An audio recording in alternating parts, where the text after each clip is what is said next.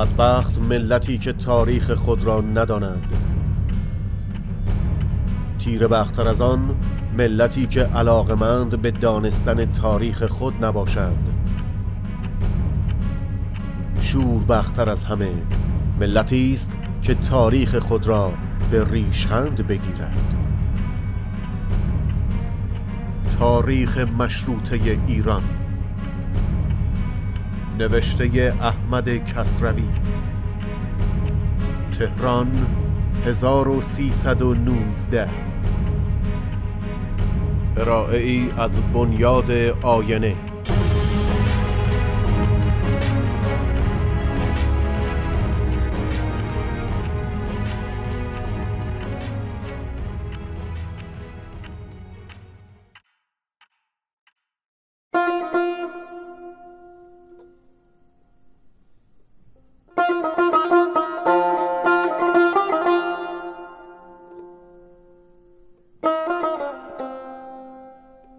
کشاکش مرزی با عثمانی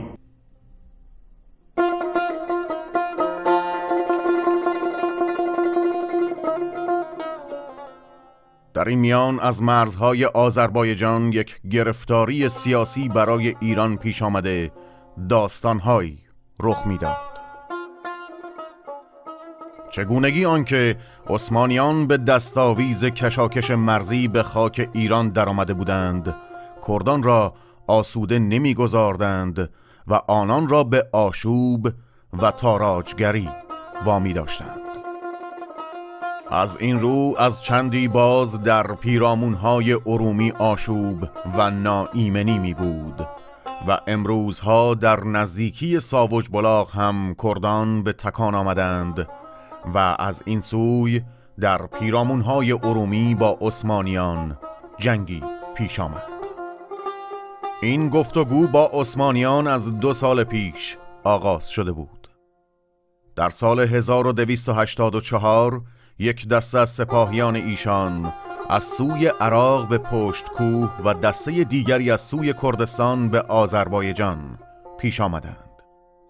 در پشت کوه والی آنجا به جنگ برخواسته راهی نداد در آذربایجان هم لشکری از تبریز رسیده به جلوگیری برخواستند ولی در این میان از نمایندگان روس و انگلیس در تهران و استانبول به میانجیگری برخواستند و در نتیجه آنچنین نهاده شد که کمیسیونی در مرز از نمایندگان ایران و عثمانی با بودن نمایندگان از دو دولت میانجی برپا گردد و چگونگی به گفتگو گذارده شود.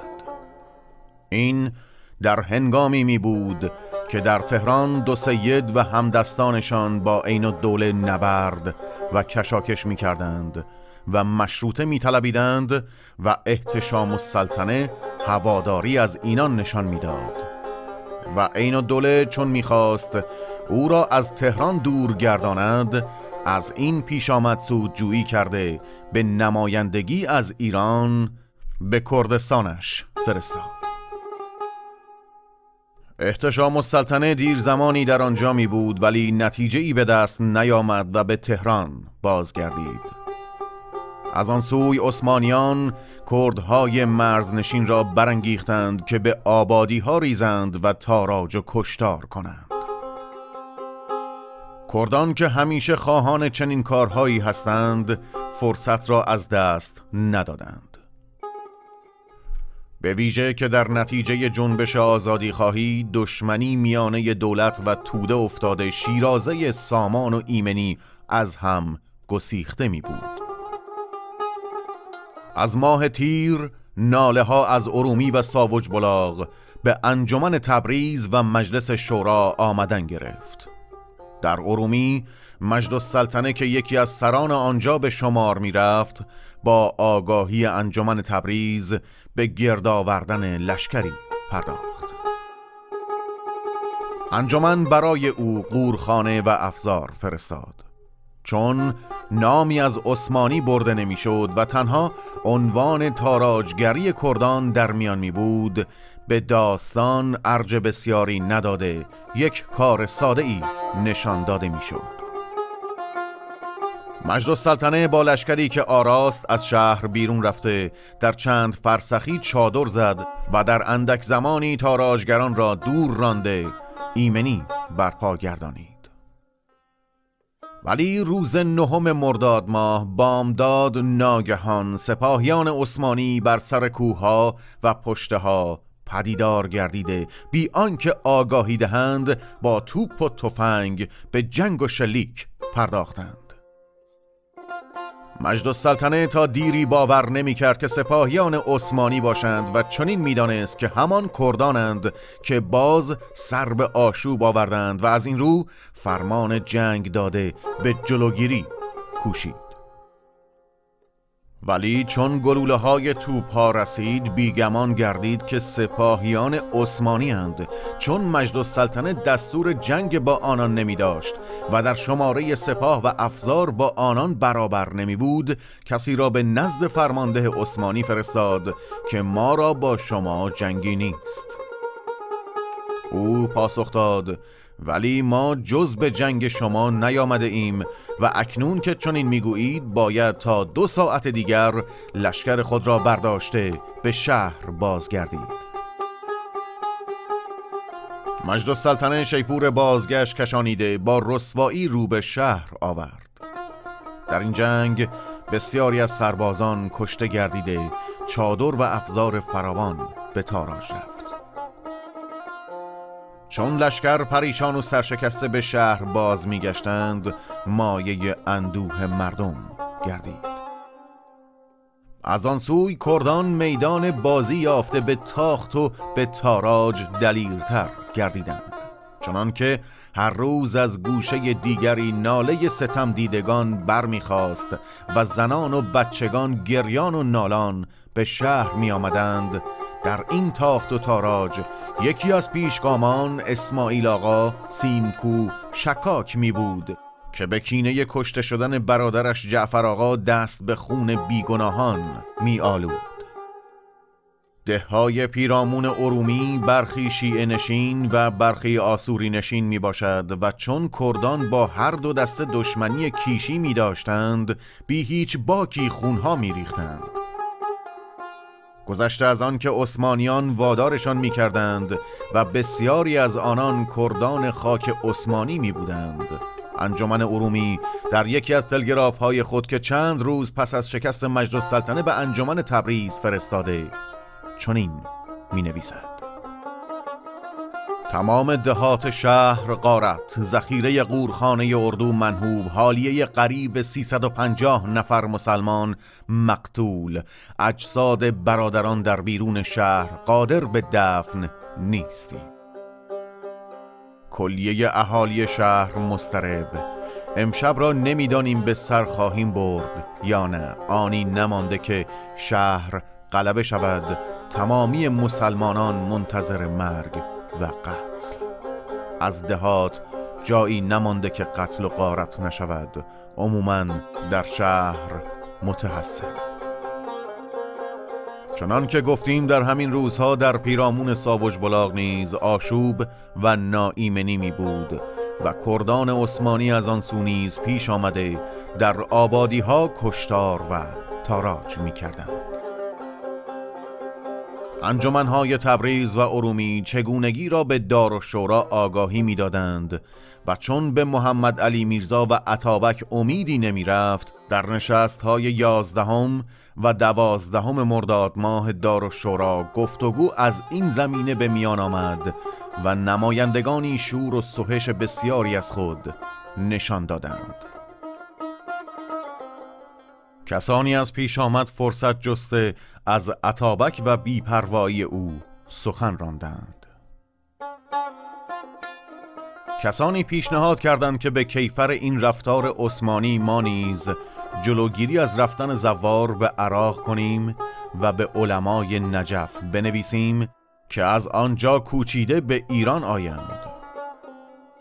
یکی از نمایندگان گفت آنها از دروازه آذربایجان آمدند. ما از دروازه عراق می رویم حکمش این است. آقای بهبهانی پیشنهاد کرد که نخست تلگرافی به سلطان عثمانی کنند و سپس اگر نتیجه نداد به کار پردازند. ولی این پیشنهاد پذیرفته نگردید. مجلس پافشاری داشت که سپاه فرستاده شود. ولی محمد علی میرزا پروایی نمی نمود و بیش از این کاری نکرد که فرمان فرما را والی آذربایجان گردانید که برود و در آنجا به چارجویی پردازد. والیگری فرمان فرما با آذربایجان از دیرگاه در میان می بود ولی انجمن تبریز ناخرسندی نشان می‌داد و ایستادگی می نمود. در این هنگام فرصت جسته آن خواست را به کار بستند. روز شنبه هجدهم مرداد ماه که بار دیگر تلگراف های ناله و فریاد از ارومی رسیده بود و در مجلس گفتگو به میان آمد فرمان فرما چنین گفت. آمدم از مجلس مرخصی گرفته چاپاری بروم. همچنین می گفت که در آن چند روزه با تلگراف دستورهایی به سواره و سرباز آذربایجان فرستاده که آماده گردیده آهنگ ارومی کنند. با این سخنان خشم مجلسیان را فرو نشاند و راستی را خود با شتاب آهنگ آذربایجان کرد و روز سیوم مرداد ماه به تبریز درآمد و انجمن ایالتی و آزادی خواهان با همه ناخشنودی که از والیگری او داشتند از پیشواز و پذیرایی باز نایستادند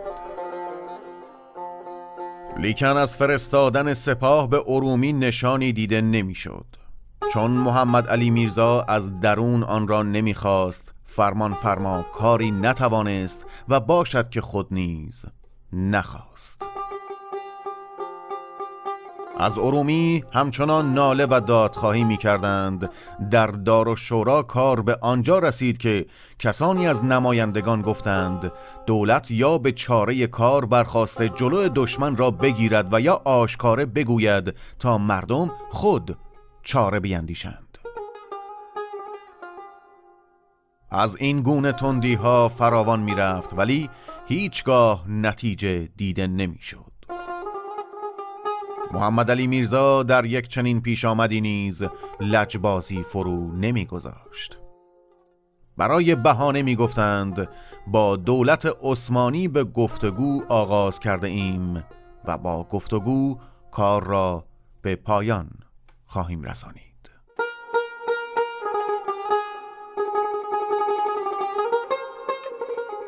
بی پرده شدن نیرنگ های عطابک.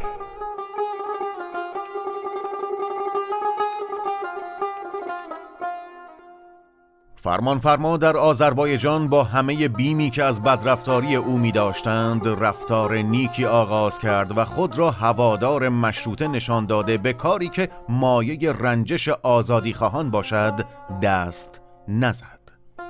لیکن در همان روزها داستانی در خوی رخ داد که به یک بار بدنهادی عطابک را بی پرده گردانید.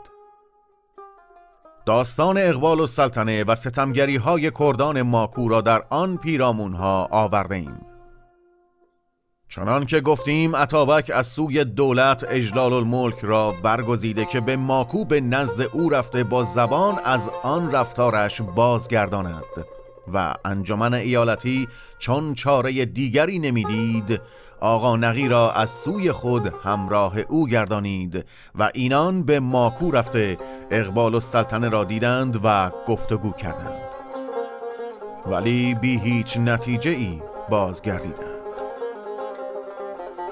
در این روزها در آنجا داستان دیگری پیش آمد و آن اینکه چون از خوی یک دسته از مجاهدان را با سربازان برای نگهداری آبادی های آنجا فرستاده بودند ناگهان کردان به سر آنان تاختند و چند تنی را از ایشان کشته بازمانده را از هم پراکندند و به دههای کلوانس و زوراوا تاخته و کشتار و تاراج دریغ نگفتند. بیچاره روستاییان گریخته خود را به شهر رسانیدند. این داستان به مردم خوی گران افتاد و حاجی حیدرخان امیر تومان که خود از سرکردگان دولتی و دارنده زوراوا بود از شهر به آنجا رفت که دوباره از سربازان و مجاهدان نیروی پدید آورد و با کردان به زد و خورد پردازد. اقبال و سلطنه آهنگ او را دانسته چنین پیام فرستاد. من این کارها را با دستور عطابک اعظم می کنم و رونوشت تلگرافی را که از عطابک به او رسیده بود فرستاد. امیر تومان تلگراف را به شهر به نزد حکمران فرستاد که دربارش از تلگراف خانه پرسش هایی کنند. این تلگراف در شهر مجاهدان را بشورانید و یک دسته از آنان رو به تلگراف خانه آورده در حیات آنجا انبوه شدند و از رئیس تلگراف پرسش هایی کردند. رئیس می‌خواست پاسخی ندهد و برخی بیحوصلگی می نمودند و خروشی در می آوردند و در این میان ناگهان تیرهایی شلیک شد که یکی از آزادی خواهان کشته شد و دو تن زخم برداشتند و رئیس تلگراف نیز زخمی گردید با این هیاهو نسخه تلگراف را گرفتند و چگونگی به دست آمد و ما اینک آن را در اینجا می آوریم. جناب جلالت معاب امیر العمرا ازام اقبال و سلطنه زید مجده. تلگراف شما از بابت بعضی مفسدین رسید از مراتب اظهاری کاملا اطلاع حاصل گردید. اولا می‌دانید که خدمات شما همیشه منظور نظر بوده است و کمال محبت را به شما داشته ایم. از حرکات وحشیانه اینها نهایت تعجب را حاصل کردم. به اجلال الملک تأکیدات لازمه شده و به حکومت نمودم که ملاحظه این نکات را نموده اقدامات خودشان را تغییر بدهند و ترتیبی پیشنهاد کنند که آسایش خاطر شما فراهم شود. حضرت مستطاب اشرف افخم والا شاهزاده اکرم سرکار فرمان فرما دام اقباله به فرمان فرمایی و سرداری کل آذربایجان برقرار شده. همین دو روزه حرکت خواهند کرد. دستورالعمل در این باب به ایشان داده شده است. استعداد و قشون هم به قدر لزوم فرستاده می شود الله بعد از ایشان رفع بعضی اتفاقات به کلی خواهد شد و برخی احوالات به کلی موقوف می شود شما نباید از این گونه اتفاقات معیوس بشوید و اظهارات معیوسانه نمایید. البته دولت در اصلاح امورات شما اقدام خواهد کرد و از هر جهت آسوده شده باید در آن سرحد با کمال غیرت و دلگرمی مشغول خدمت باشید. عطابک. از این تلگراف پیداست که آن همه خونریزی های اقبال و سلطنه و کردان او با خوشنودی از دربار بلکه با انگیزش آنجا می بوده مجاهدان خوی از این تلگراف سخت براشفتند و چون سند استواری به دست آورده بودند از بدگویی های آشکار به عطابک باز نایستادند و چون یک نسخه از آن را به تبریز فرستادند که در روزنامه انجمن به چاپ رسید در اینجا نیز آزادی خواهان به جوش و جنب برخواستند اینها در روزهایی بود که فرمان فرما در میانه تهران و تبریز راه میپیمود و چون چنان که گفتیم به تبریز رسید در روزهای نخست با رنجش هایی که آزادی خواهان از عطابک و اقبال و سلطنه می نمودند و جوش و خروش نشان می‌دادند دچار آمد و برای آنکه درباره خود او بدگمانی رخ ندهد و خواه ناخواه این تلگراف را برای اقبال و سلطنه فرستاد. خوی جناب جلالت معاب اقبال و سلطنه. سردار عجب است از وقتی که من به آذربایجان معمور شده و آمدم به هیچ وجه از شما کاغذ و تلگرافی نرسیده و ابدا به من اطلاعی نداده اید که در چه کارید و چه می کنید و از وقایع ولایتی و امور سرحدی آنجا راپورتی نفرستاده اید حالا در استعلام از سلامت حال شما می نویسم و ضمنا اختار می نمایم که بعد از ورود من به تبریز پاره ای اخبار و انتشارات نسبت به اهالی و اجزای انجمن ماکو مذاکره می نمایند که باعث تعجب و حیرت من شده و ابدا تصور نمی کنم که با وجود علم واضح شما بر وضع حالیه که مزاج ولایت تغییر یافته است. پاره اقدامات که تولید وحشت و اسباب حرف باشد به ظهور برسد.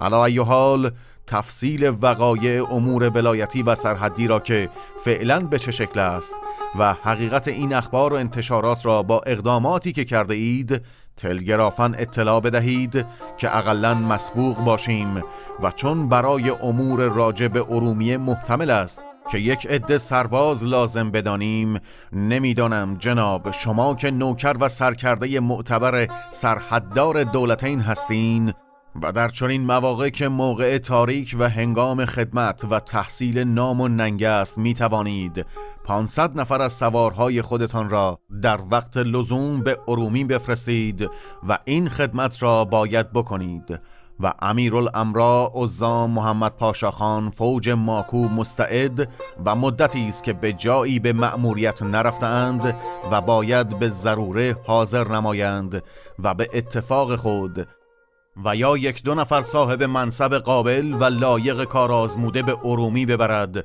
و این خدمت را انجام بدهد. جواب این مطالب را به وسیله تلگراف اظهار نمایید. فرمان فرما. ولی در سایه به هم خوردگی میانه اقبال و سلطنه و خویان این تلگراف پس از سی و اند روز به او رسید و پاسخی را که در آن هنگام اقبال و سلطنه داد در جای خود خواهیم آورد. در اینجا می باید به تهران بازگردیم و باز چند سخنی از بست نشینان رانیم.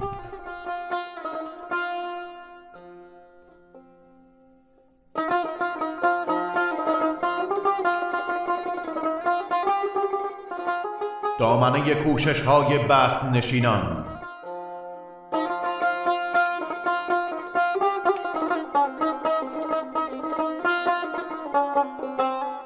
چنان که گفتیم اینان در عبدالعظیم چاپخانه سنگی برپا کرده لایه ها می نوشتند و چاپ می کردند و به همه جا می فرستادند.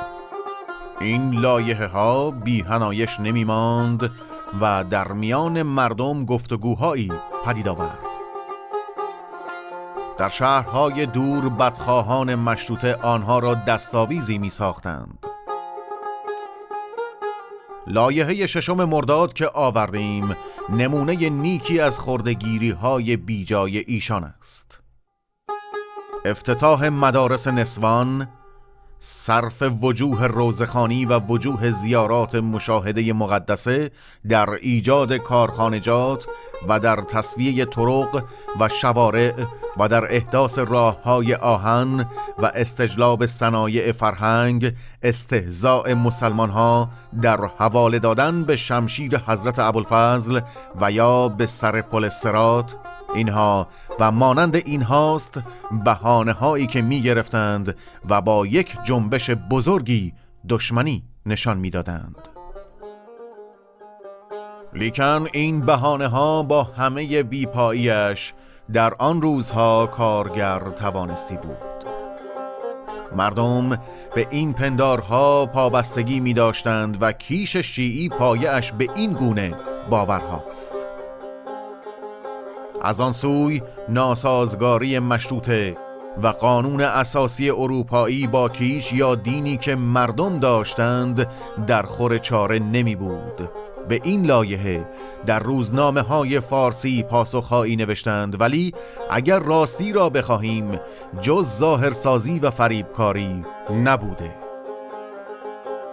دوباره می‌گویم اگر پشتیبانی های آخوند خراسانی و حاجی شیخ مازندرانی از نجف نبودی اینان مشروطه را برانداختی به ویژه این همه فتنه و فساد و آشفتگی بلاد و عباد همزادش بوده باشد با همراهی که سید یزدی با اینان می داشت و دولت عثمانی نیز به او پاسداری و پشتیبانی بسیار نشان می‌داد.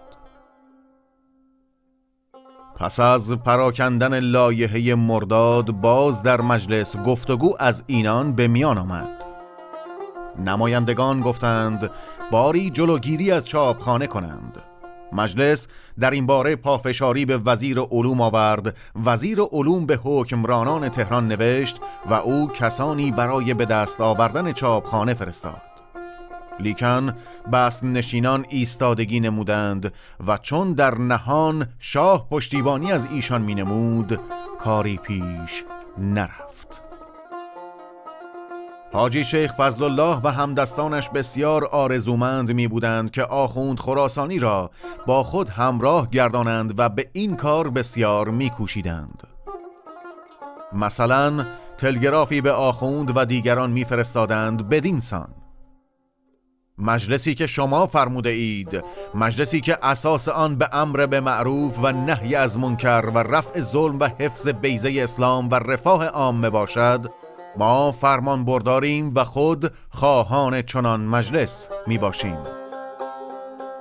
لیکن این مجلسی که هست آن نیست که شما فرموده اید.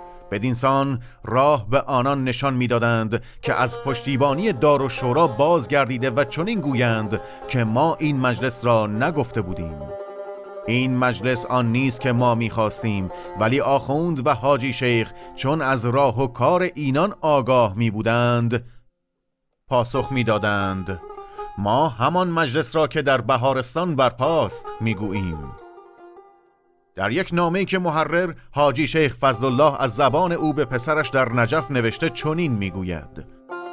افسوس که حضرت حجت الاسلام و المسلمین آیت الله آقای آخون مدزل العالی در این واقعه گوش به کلمات و عراجیف مغرزین دادند و مساعدت در دفع و رفع زنادقه و ملحدین و تشیید شرع مبین نفرمودند. همان قسم که در همه موارد بر همه مقدم بودند در این واقعه عقب افتادند. حاجی شیخ فضل الله با خط خود می نویسد به حمدالله مقاصد اسلامیه به کوری چشم من ینکره در شرف پیشرفت و روسیاهی به زغال. امیدوارم که جناب حجت الاسلام و المسلمین آقای آخوند تا به حال رفع شبه از ایشان شده باشد. اینها چون دلیلی است به ارجمندی جایگاه آخوند و استواری پای آن شادروان در اینجا می نویسیم در نامه دیگری محرر امیدواری به پیشرفت کارشان نموده چنین می نویسد به حمدالله تعالی امور خیلی پیشرفت کرده حقانیت و بیغرزی حضرت مستطاب حجت الاسلام روحی فدا بر همه کس معلوم و مشهود گردیده. مخالفین و معاندین که می‌گویند کلمه حق یرادو به حل باطل در این ایام به واسطه نشر لوایح و مطبوعات زاویه مقدسه که مردم بیدار شده اند خیلی در هیجان آمدند در اینجا یک لایحه دیگری نیز از ایشان میآوریم. این نطقی است که شیخ علی لاهیجی نامی کرده و در تاریخ 25 مرداد به چاپ رسیده. این نیز نمونه های نیکی را از بهان جویی های آنان در بر می دارد. آنچه را که به روزنامه ها ایراد می گیرد بیشتر آنها دروغ می باشد و چون این چیزهایی در روزنامه ها نمی بوده.